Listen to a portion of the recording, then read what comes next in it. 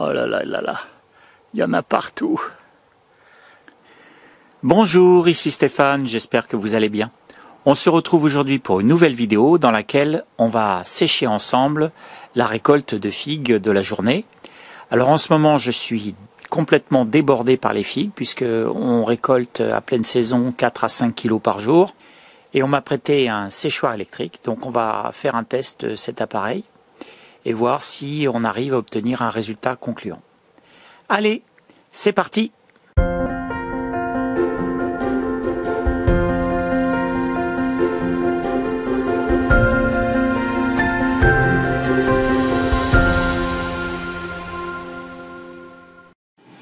Pour le séchage, les figues les plus intéressantes sont généralement les plus petites, comme celle-là par exemple.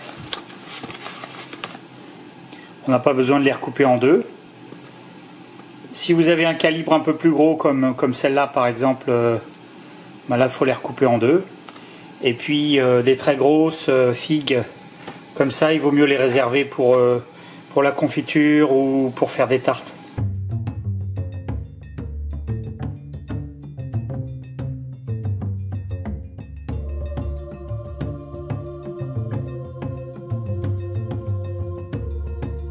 Les petites, je les, recoupe pas. Hein.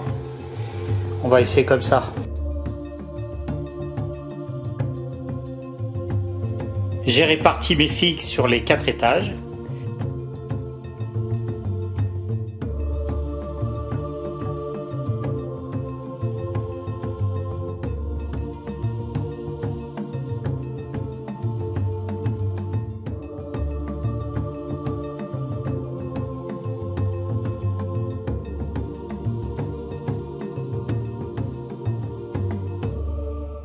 Et je positionne donc euh, la ventilation sur, euh,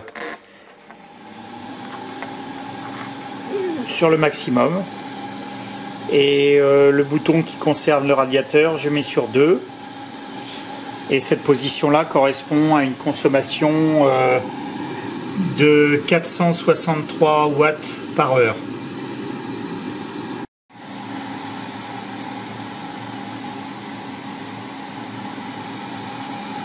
Oh là là, ça sent la figue. Incroyable. Les figues séchées ont perdu 90% de leur poids, puisqu'au départ j'avais 5 kg de figues, et là je vais à peu près 500-600 grammes de figues séchées. Donc je vais les ranger maintenant dans, le, dans les bocaux.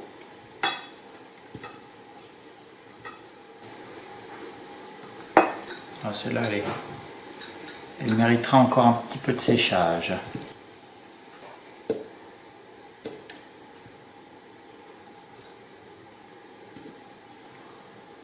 Alors résultat, résultat final, il est, euh, on a des filles qui sont bien déshydratées. Hein. Et ce résultat-là est obtenu après 30 heures de séchage, c'est-à-dire euh, un peu plus d'une journée. Je trouve que la capacité est peut-être un petit peu limitée par rapport euh, à la quantité de, de filles que j'ai à sécher tous les jours. Alors ce séchoir électrique, euh, bon, bah ça fait le boulot. Hein. Par contre, je trouve que c'est dommage que les plateaux soient en plastique, parce qu'on sait que le plastique qui chauffe, malheureusement, peut altérer euh, la nourriture. Donc je pense que si je devais en acheter un, ce sera un modèle avec des plateaux en acier inoxydable et peut-être une plus grande capacité. Voilà déjà 10 kg de figues transformées en 1 kg de figues séchées. J'espère que cette vidéo vous a plu. Je vous dis à très bientôt dans une prochaine vidéo et je vous embrasse tous. Au revoir.